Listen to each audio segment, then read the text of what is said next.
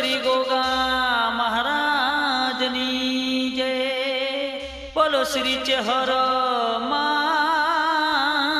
કી